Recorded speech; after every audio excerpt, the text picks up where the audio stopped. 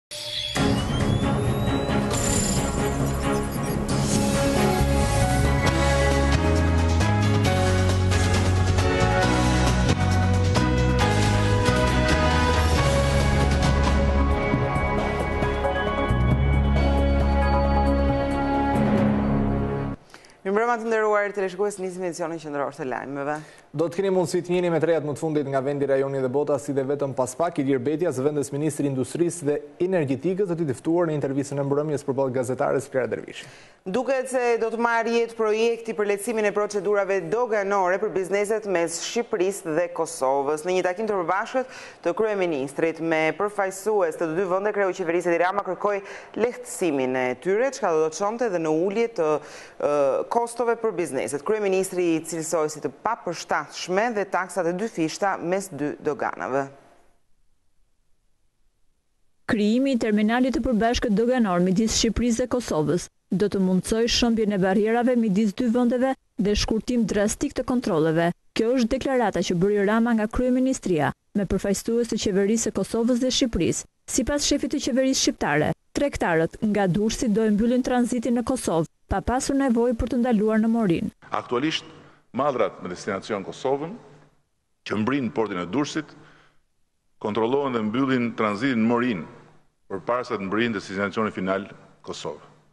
Me tranzitin e përbashkët, mallrat nga Durrësi do e mbyllin tranzitin në destinacionin final në Kosovë, pa patur nevojë të kontrollohen edhe në Morinë. Që do të thotë që Durrësi bëhet një pikë e përbashkët qysh në origjinë për gjithë ata që hyjnë pavarësisht se ndalojnë në Shqipëri apo ndalojnë në Kosovë. Ministri i Financave, Shkëlqim Cani dhe homologu i tij kosovar, Besim Beqaj, vunë theksin te procedurat e shpejta doganore, ndonëse u pranua fakti se legjislacioni shqiptar ka nevojë për përmirësime. Ne e dimë që legjislacioni shqiptar ka nevojë për t'u përmirësuar në vetvete dhe natyrisht që është e thjeshtë mendoj dhe jo dhe aq e vështirë për t'u bërë, për t'u përafruar drejt njësimit të legjislacionit, qofshin kodet doganore apo aktet e tjera nënligjore, për arsye se kemi një objektiv të madh që është hyrja në BE, që është BE-ja, që janë standardet e BE-së. Prej byrokracisë në kufi, kontaktet, agjencionet e shumta të cilat janë aty, kërkesat e licencave, certifikatat të cilat nuk njifen këndej apo andej, nuk do të them të paragjykoj tash në këtë anë apo në atë anë, por nuk njifen, është fakt. Dhe këto certifikata, përderisa janë certifikata të nivelit ndërkombëtar, me status të njohjes ndërkombëtare, nuk e di pse nuk njifen në nivel kombëtar. Ndërkohë drejtoresha e Doganave, Elisa Spiropali, deklaroi se janë siguruar fondet për abdetimin e sistemit informatik doganor me atë të Kosovës. Shtabi i Përgjithshëm i Forcave të Armatosura ka reaguar lidhur me akuzat ndaj ushtrisë për implikim në trafikun e drogës. Nëpërmjet një deklarate për shtyp, Shtabi i Përgjithshëm i Forcave të Armatosura shprehet se këto akuza janë rrëzuar nga NATO ndërkohë që do t'i paraqesë prokurorisë të gjitha materialet për të provuar pikërisht të kundërtën. Shtabi i Përgjithshëm i Forcave të Armatosura ka hedhur poshtë akuzat dhe insinuatat se në aeroportin e Gjadrit janë ulur avionë të destinuar për trafik droge. Në një deklaratë për shtyp, dalë nga Shtabi i Përgjithshëm nënvizohet se Forcat e Armatosura dhe Ministria e Mbrojtjes i qëndrojnë çdo deklarate të mëparshme të dhënë nga titullarët e saj, pasi nuk ekziston asnjë fakt që të prodhojë hamendësitë e shprehura gjatë javëve të fundit në publik. Forcat ajrore disponojnë dokumente nga strukturat e specializuara të Aleancës që monitorojnë hapësirën ajrore të Republikës së Shqipërisë, të cilat konfirmojnë se nuk ka patur avionë renegatë në hapësirën tonë në datë dhe në kohën e cituar në media, thuhet në deklaratën e Shtabit të Forcave të Armatosura. Në këtë deklaratë nënvizohet se. Forcat e Armatosura nuk dëshirojnë të bëhen pjesë e debatit politik. Qëndrimi i Forcave të Armatosura mbështetet në verifikimet e kryera nga institucione të specializuara vendase dhe të huaja. Duke iu bindur ligjit dhe vetëm ligjit, Forcat e Armatosura do të vendosin në dispozicion të Prokurorisë dhe Kuvendit të gjitha provat që vërtetojnë saktësinë e këtij qëndrimi, thuhet në njoftimin për shtyp të Shtabit të Përgjithshëm. Ambasadori i Shteteve të Bashkuara të Amerikës në Shqipëri, Alexander Arvizu, ka zhvilluar një vizitë të paparalajmëruar në Presidencë, ku është takuar me kreun e shtetit Bujar Nishani. Takimi, i cili zgjati më pak se një orë, ndodh në një moment kur kemi një situatë të tensionuar politike mes mazhorancës dhe opozitës. Ende nuk ka detaje në lidhje me bashkëbisedimin mes diplomatit amerikan dhe kreut të shtetit Nishani.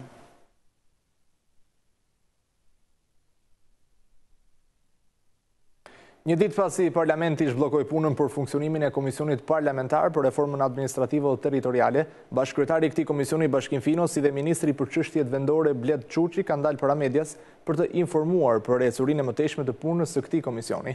Ndërkohë nuk ka munguar edhe një herë ftesa ndaj Partisë Demokratike për të marrë pjesë në këtë komision.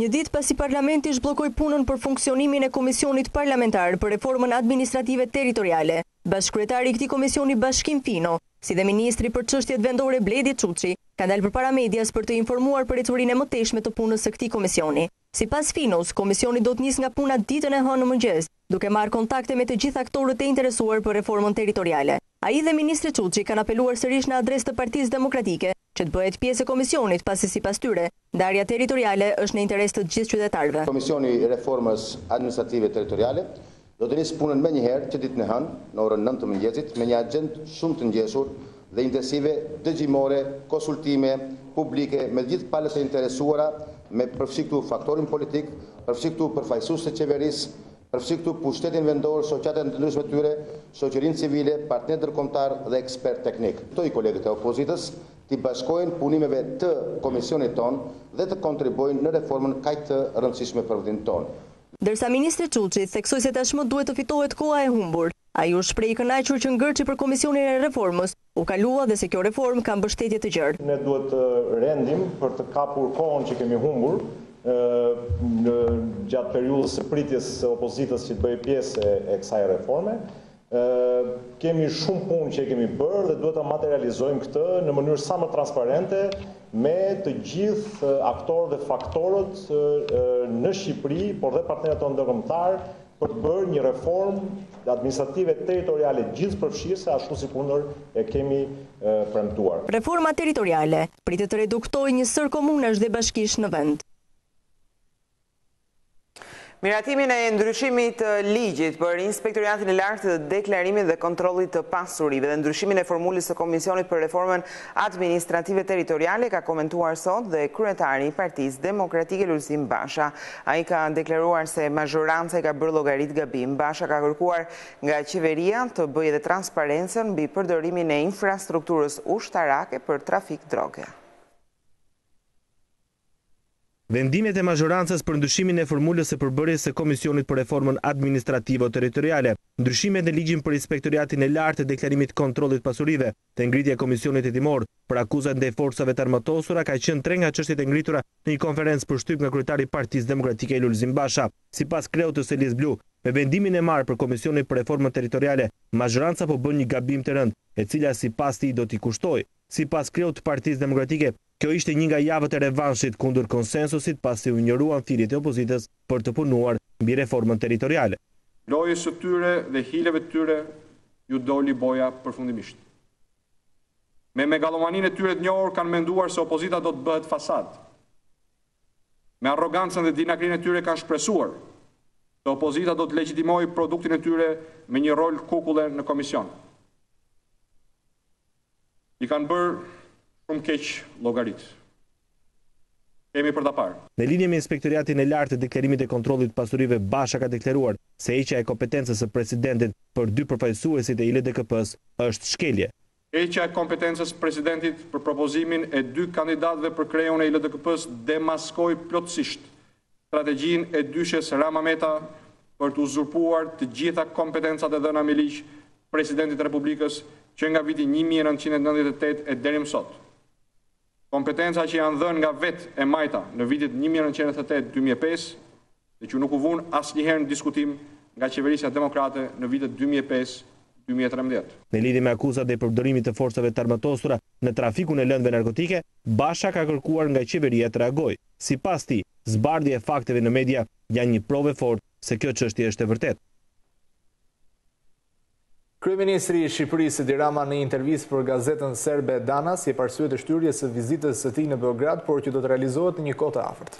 Rama flet gjithashtu edhe për marrëdhëniet Shqipëri-Serbi, duke i cilësuar si një epokë e re e cila ka hedhur prapa krahëve të shkuarën. Kreu i qeverisë shqiptare shpalos edhe disa nga pikat kyçe të bashkëpunimit, të cilat ai do t'i parashtrojë në momentin që do të vizitojë Serbinë.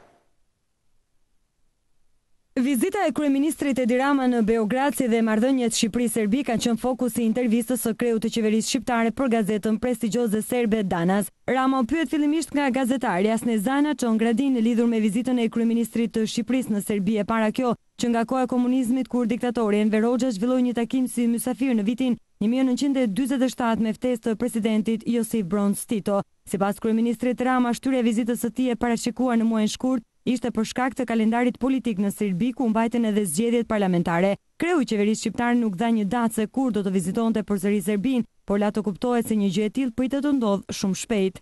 Ndihem me fat që jam njëri prej kryeministrave të asaj, që pas marrëveshjes Kosovë-Serbi, mund të quhet koha e re e rajonit. Ndjej mirënjohje për të gjithë punën e sakrificën e njerëzve, pa rëndësi kombësia e nacionaliteti, pa rëndësi profesioni apo krahu politik, që bënë të mundur këtë kohë. Do të doja të sjell në vëmendje, se dy mijë e katërmbëdhjetë është viti i parë pa konflikte të hapura në historinë e Ballkanit, dhe përkimi i këtij viti, me qind-vjetorin e Luftës së Parë Botërore, që nisi pikërisht në Ballkan, është mjaft domethënës për të pasur idenë e plotë të ndryshimit historik. që ka ndodhur me marrëveshjen mes Kosovës dhe Serbisë. Kjo paqe është një arritje, por dhe përgjegjësi e përbashkët, për të hapur pa humbur kohë një epokë të re bashkëpunimi rajonal, sepse vetëm e të ndarë nuk i përballojmë dot sfidat e rënda të ekonomisë, papunësisë, pasigurisë energjetike, tensioneve sociale si pasojë e këtyre e shumë sfida të tjera me radhë. I pyetur për marrëdhëniet mes Serbisë dhe Shqipërisë në një kohë që po ringrihen dhe partitë që kanë qenë bashkëpunëtore të Millosheviçit, kryeministri shqiptar theksoi se ka ardhur koha për të harruar të kaluarën.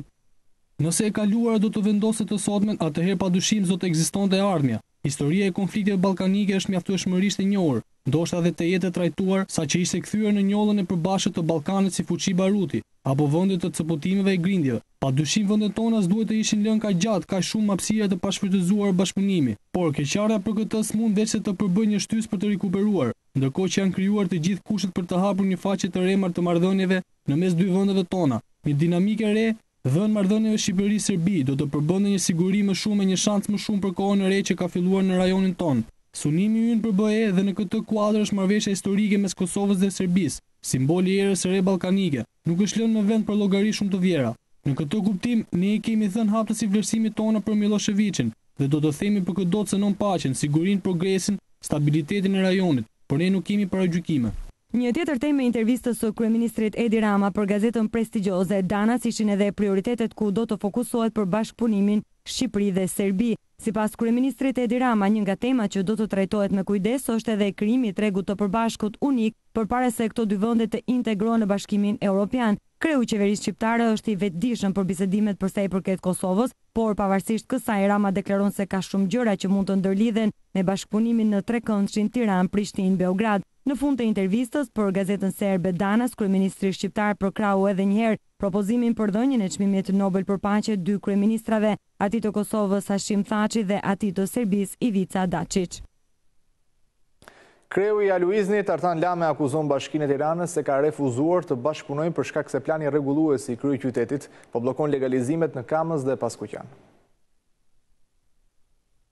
Kreu i Aluiznit, Artan Lame, ka sqaruar sot atë të cilën ai e cilësoi si ngërç i legalizimeve të banesave në tokë me pronarë. Në një prononcim për mediat, Lame ka deklaruar se ligji ekzistues i legalizimeve, i bërë nga partia e bashkisë nuk parashikon të legalizohen ndërtime mbi pesë kate në tokën e pronarëve, gjë që ka krijuar edhe një ngërç në proces. Bashkia e Tiranës paraqiti ankesën e radhës se po e sulmojnë politikisht. Ligji ekzistues i legalizimeve, i bërë nga partia e bashkisë në vitin dy mijë e gjashtë, parashikon moslegalizimin e të gjithë objekteve në truall me pronarë, të ndërtuar në truall me pronarë në ato zona ku studimet parashikojnë ndërtime mbi pesë kate. Aktualisht, e gjithë kjo masë ndërtimesh është e bllokuar sepse nuk i është dhënë zgjidhje asnjëherë. Në vitin dy mijë e trembëdhjetë, bashkia miratoi një plan rregullues, i cili e parashikon praktikisht të gjithë hapësirën e Tiranës cep më cep me ndërtime mbi pesë kate. Më tej Lame u është drejtuar qytetarëve të rrinë të qetë. pasi është gjetur zgjidhja edhe e këtij ngërçi. Ju bëj thirrje qytetarëve që të mos ndikohen nga deklaratat tralala të Bashkisë Tiranë, por të rrinë të qetë, sepse ne kemi gjetur zgjidhjen e këtij ngërçi absurd, të krijuar prej tyre dhe të ngatërruar edhe më keq akoma po prej tyre. Në fund, Lame i ka kërkuar Bashkisë të ulen në bisedime dhe të bashkëpunojnë, në mënyrë që të japin zgjidhje të gjithë këtij procesi. Dhe pas deklaratës së drejtorit të Agjencisë së Legalizimit Artan Lame për legalizimet në zonat e Kamzës dhe të Paskuqanit ka reaguar dhe Bashkia e Tiranës. Sipas saj, Lame përgënjeshtroi veten duke konfirmuar edhe një herë se sulmet e tij janë thjesht dhe vetëm politikë. Sipas Bashkisë së Tiranës, Lame kërkon të fshehë përgjegjësinë e tij të gënjeshtrave ndaj qytetarëve duke sulmuar Bashkinë. Në deklaratë thuhet se Lame gënjen se në të vetmin takim që ka ftuar Bashkinë, përfaqësuesit e saj kanë qenë aty. Bashkia e Tiranës e ka dëshmuar me vepra se ka qenë dhe është e përkushtuar të zgjidhë sa të jetë e mundur kaosin ku e futën Tiranën. Ajo i kërkoi kreut të legalizimeve të adresojë këtë problematikë në ndryshimet ligjore dhe të mos fshihet.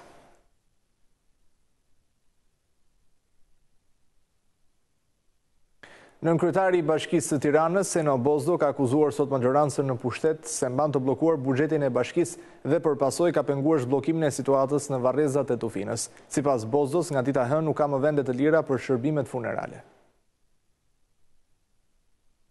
Duke filluar nga dita e hënë, shërbimi funeral i bashkisë së qytetit për familjet që humbin të dashurit e tyre nuk do të jetë e mundur më të ofrohet.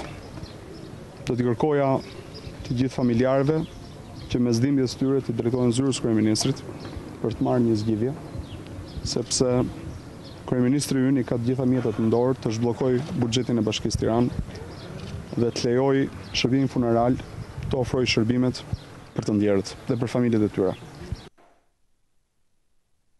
Prefekti i Tiranës Sadi Vorpsi ka kërkuar bashkëpunimin e pushtetit vendor për të luftuar kultivimin e Cannabis sativa kryesisht në komunat e Tiranës. I pranishëm në takim drejtori i Policisë së Tiranës tha se është gati plani i masave për vitin dy mijë e katërmbëdhjetë, por kërkohet bashkëpunim ndërinstitucional. Komunat përreth Tiranës duket se janë zonat më problematike për kultivimin e kanabisit, sipas prefektit të Tiranës, Sadi Vorpsi. Ai ka kërkuar nga policia e kryeqytetit dhe krerë të komunave të bashkëpunojnë, pasi sipas tij, Ka një tendencë në rritje të fshatarëve të cilët kanë nisur ta kultivojnë këtë bimë në toka pa pronar apo dhe nëpër vazo lulesh. Sipas Vorpsit, zonat më problematike janë komuna Baldushk, ku në fshatin Vrap dhe Shpat janë kapur mbi njëqind rrënjë kanabis, në komunën e Bërzhitës, në fshatin Lugë dhe Shalqizë, në fshatin Drita Stapizë dhe në komunën Zallherr. Në komunat Zall Bastar dhe Shën Gjergj, kanë filluar hapat e parë drejt mbjelljes nëpër vazo, për ta kultivuar atë më pas në masë më të gjerë, duke shfrytëzuar edhe terrenin malor. Prefekti kërkoi një bashkëpunim më të fortë mes policisë, shkollave dhe institucioneve të tjera, për të frenuar shpërndarësit pranë shkollave. Ndërkohë, drejtori i Policisë së Tiranës, tha se është gati plani i masave për vitin dy mijë e katërmbëdhjetë, por kërkohet një bashkëpunim ndërinstitucional. Ndjekim tani edhe një bllok lajmesh nga Kronika. Qëllohet me breshëri plumbash automjeti i përgjegjësit të ujësjellësit Sukth B.Gj., ndërkohë që policia është vënë në ndjekje të autorëve. Makina tip Land Rover është qëlluar pasi ai ka zbritur në afërsi të banesës dhe ka parkuar automjetin. Mësohet se nga të shtënat nuk ka të lënduar, ndërkohë që dyshohet se ky kërcënim ndaj përgjegjësit të ujësjellësit është bërë për shkak të detyrës. Uniformat blu po punojnë për të bërë të mundur zbardhjen e kësaj ngjarje. Sekuestrohen katërqind e shtatëdhjetë e shtatë kilogramë lëndë narkotike në dy operacione të ndryshme në Patra të Greqisë. Sipas burimeve policore nga shteti helen, në portin e Patrasë u kap një furgon frigorifer me treqind e pesëdhjetë e katër kilogramë marijuanë të ndarë në treqind e njëmbëdhjetë pako. Më pas, operacioni vijoi në një magazinë në Patra, ku u gjet një tjetër furgon me njëqind e njëzet e tre kilogramë marijuanë. Ndërsa në portin e Igumenicës është kapur një mjet me targa shqiptare me dhjetë kilogramë marijuanë. Në përfundim të këtyre operacioneve u sekuestrua katërqind e shtatëdhjetë e shtatë kilogramë lëndë narkotike dhe u vunë në pranga dy shtetas shqiptarë, të cilët transportonin drogën drejt shtetit fqinj. Efektivët e policisë të Komisariatit numër tre në kryeqytet kanë vënë në pranga një tridhjetë e katër vjeçar pasi tentoi të vidhte një automjet tip Benz. Ngjarja u shënua në rrugën e Barrikatave ku Romeo Rakipi, po tentonte të largohej me automjetin që sapo kishte grabitur. Ndërhyrja në kohë e uniformave blu, ka bërë të mundur prangosjen e tridhjetë e katër vjeçarit në kushtet e flagrancës, ndërkohë po vijon puna për zbardhjen e rasteve të tjera, që mendohet se mund të jetë përfshirë ky shtetas. Vazhdon kthimi në Shqipëri i azilkërkuesve nga vendet e zonës Schengen. 26 prej tyre janë kthyer nga Anglia dhe pjesa tjetër nga Franca. Kthehen në Shqipëri tridhjetë e pesë azilkërkues nga Anglia dhe Franca. Një përfaqësues i Ministrisë së Brendshme bëri të ditur se njëzet e gjashtë prej tyre janë kthyer nga Anglia dhe pjesa tjetër nga Franca. Ndër to dy femra vijnë nga Anglia dhe një nga Franca. Ai theksoi se do të vijojnë të kryejnë operacione të tilla në vazhdimësi.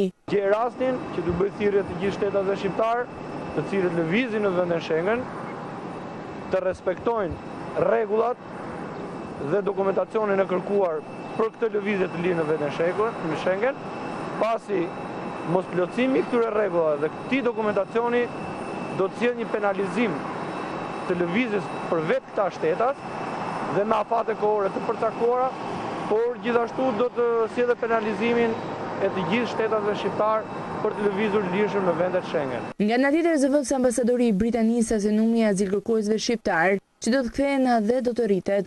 When people are found to have broken the law they can expect to be brought back on one of these flights. Kur njerëzit e thyejnë ligjin e qëndrimit janë e presin kthimin atëherë nga autoritetet tona drejt vendit të tyre. We don't have ongoing average numbers these are ongoing this is ongoing work in the UK and the numbers fluctuate but the numbers are increasing and will increase. E vështirë të japim numrat e saktë por mund ta them me plot bindjen që numrat janë në rritje. Vendet e zonës Shengen kanë shprehur herë pas here shqetësimin për shtimin e numrit të azilkërkuesve nga vendet e Ballkanit, duke shfrytëzuar regjimin e lirë të vizave të udhëtimit. Ata kanë kërcënuar herë pas here se mund të rivendosin dhe mekanizmin e vizave, pas miratimit të tij pak kohë më parë nga strukturat e Bashkimit Evropian. Vijmë më tej me të tjera materiale, hapet në Tiranë panairi francez i ushqimit. I pranishëm ministri i Bujqësisë Edmond Panariti theksoi se ky panair ofron mundësi të shkëlqyera dhe shërben si një etalon për shkëmbimin e mallrave dhe lidhjen e kontratave në të gjithë Ballkanin. Ky salon ka një rëndësi shumë të madhe, pasi siç edhe përmenda pak më përpara, ofron mundësi të shkëlqyera për një treg tashmë që nuk i përket vetëm tre milionëve shqiptarë të Shqipërisë, por i përket gjithë hapësirave pan-shqiptare, pra shqiptarëve të Kosovës të cilët janë pranishëm këtu, siç e shikoj edhe me prodhimet e tyre bujqësore me shumë vlerë dhe shumë cilësore, por edhe hapësirave të tjera të rajonit, të Ballkanit Perëndimor. Natyrisht fillojmë këtu në Tiranë dhe ky aktivitet është shumë i rëndësishëm pasi është një mundësi e shkëlqyer që midis prodhuesve, blerësve, ofruesve të shërbimeve të vendoset një dialog, të shkëmbehen përvojë, të shkëmbehet eksperiencë dhe pse jo dhe të lidhen dhe kontrata. Perëndimi ka deklaruar se ka gati sanksionet e reja ndaj Rusisë. Franca, Gjermania, Shtetet e Bashkuara të Amerikës, Britania dhe Italia kanë akuzuar Moskën për mos respektimin e Marrëveshjes së Gjenevës. Krerët e shteteve perëndimore kanë deklaruar se po konsiderojnë sanksione të reja kundër Rusisë. Franca, Gjermania, Shtetet e Bashkuara të Amerikës, Britania dhe Italia akuzuan Rusinë për mosrespektimin e Marrëveshjes së Gjenevës, ku u vendos që Rusia të niste dialog me separatistët pro-rusë në Ukrainën lindore. Të premten zyra e shtypit e presidentit francez François Hollande tha se është diskutuar për situatën në Ukrainë me presidentin amerikan Barack Obama, kancelaren gjermane Angela Merkel si dhe me kryeministrin e Britanisë dhe Italisë. Krerët e shteteve dhe qeverive kanë bërë thirrje për një reagim të shpejtë nga G-shtatë, si dhe diskutuan për miratimin e sanksioneve të reja kundër Rusisë nga komuniteti ndërkombëtar, shkroi në një deklaratë të Pallatit Elysee. Rusia duhet të kontribuojë në zgjidhjen e situatës, si dhe të çojë deri në fund premtimet e lëna pesë në Gjenevë. Integriteti territorial dhe sovraniteti i Ukrainës duhet të ruhet plotësisht. Zgjedhjet presidenciale të datës njëzet e pesë maj janë thelbësore, sepse do të lejojnë qytetarët ukrainas të vendosin të ardhmen e tyre të lirë dhe transparente, shkruhej më tej. Rusia akuzoi më parë Perëndimin se po kërkon të zotërojë Ukrainën. Nga ana tjetër, Ukraina paralajmëroi se çdo kalim në kufi të trupave ruse do të konsiderohet si një pushtim ushtarak. Moska ka të stacionuar dhjetëra mijëra trupa në kufi me Ukrainën dhe separatistët pro-rusë, ka zaptuar të gjithë ndërtesat qeveritare në Ukrainën lindore.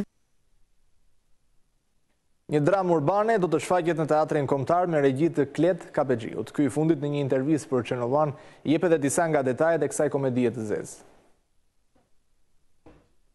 Të rrëmbyer nga kaosi i një jete të trazuar, në kufij të ekzistencës së tyre, Xheki, Veronika, Ralf, Viktoria dhe Hulio bëjnë të vetmen gjë që duket se i jep vërtet kuptim kësaj zhurme të pafund, dashurojnë. Për Channel One, regjizori Klet Kapexhiu, dikur një djalë i vogël, aktor jo protagonist tek filmi Tela për violinë, i cili vrapon nëpër shpi me fletën e autorizimit në dorë, sot, një regjizor me ambicie për të ardhmen, shprehet se kjo shfaqe, e cila vjen premierë në Teatrin Kombëtar, i flet publikut në një tjetër gjuhë. Autori ka një këndvështrim shumë interesant mbi dramën e këtyre personazheve. Herë pas here, ai mpreh gjuhën dhe i vë në një lojë të gjithë këta, për të na treguar disa paradokse të çuditshme që kanë që kanë në këtë përpjekje të pafundme për të kërkuar dashurinë. Kjo e bën pjesën një komedi dhe një dramë mjaft të shkathët edhe të mprehtë në të njëjtën kohë. Kapexhiu shprehet se personazhet e veprës shfaqen të lumtur, të fyer, të tradhtuar e të rigjetur, të mbërthyer pas njëri-tjetrit për të mos u zhdukur në terr. Jam munduar që të ruaj diçka që fshihet, shfaqet gjatë gjithë kohës në pjesë, e cila është vërtetësia me të cilën autori i prek ngjarjet, ashpërsia me të cilën i shqipton ajo. Kjo them se është është karakteri kryesor i pjesës. Një dramë urbane, një komedi e zezë e cila bërtet qartë e shkoqur, më mbaj, me një kast të zgjedhur aktorësh, vepër e Stephen Adly Guirgis, vjen në skenën e Teatrit Kombëtar në interpretimin e Marin Orhanasit, Eglantina Cenomerit, Indrit Çobanit, Ervin Bejlerit, Ina Gjonçit, në datat njëzet e pesë, njëzet e gjashtë dhe njëzet e shtatë prill. Të nderuar teleshikues, përfundon këtu ky edicion lajmesh. Faleminderit që na ndoqët. Ndërkohë keni këtu dhe faqen tonë zyrtare të internetit channelvizuan.al ku mund të na ndiqni si gjithmonë për të rejat më të fundit.